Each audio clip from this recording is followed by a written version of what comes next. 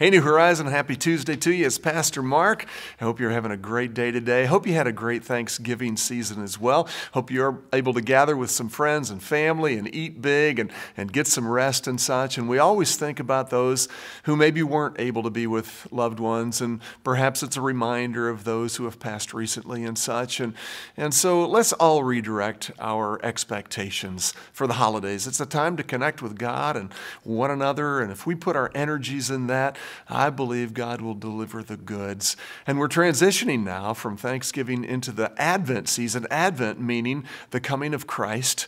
And so we celebrate the coming of our Savior.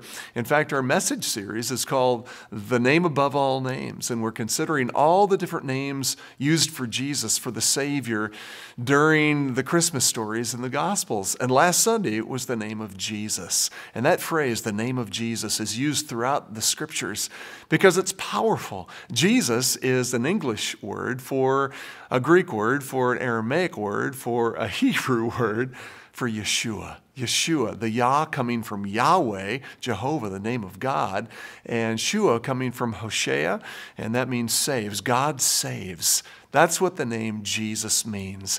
Jesus came to save, and indeed he does. With his cross and resurrection, he saves us from sin, death, hell, and the grave, the wicked one.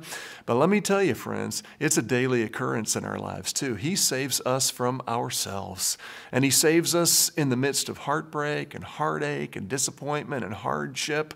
And we call on the name of Jesus, Jesus, Jesus, Jesus. And we pray in the name of Jesus. It's not a magic word, it's the key that fits the lock, that opens the door, that we might be face to face with our God the name of Jesus. Let's trust Jesus and let's walk in the name of Jesus and do all things for the glory of Jesus, shall we? I'll tell you, it's a great reason to get out of bed in the morning. And this week, we've got some great things. Today is Giving Tuesday, if you're not aware of that, kind of a national phenom, you know, and people give to all kinds of different organizations. And we've chosen Restoration Urban Ministries for our Tuesday Giving Day. And if you'd like to, you can go right now to our website website, and in the pull down menu on our giving page, you'll find Restoration Urban Ministries. And you can help those guys help people in our community. I'll put a link down below, and you can click on that as well. Tomorrow night, we resume our midweek discipleship, and we're going to have fried chicken. It's awesome. We all love fried chicken, and maybe we're hungry again after Thanksgiving when we swore we would never eat again. And so come on in, 545. We're going to have a meal together. We had a huge turnout last time we did this. And then we go to discipleship for all ages, from our kids and teens and adults. I think you'd really, really like it. In fact, my core class tomorrow, we're going to, we're going to learn how to share our faith.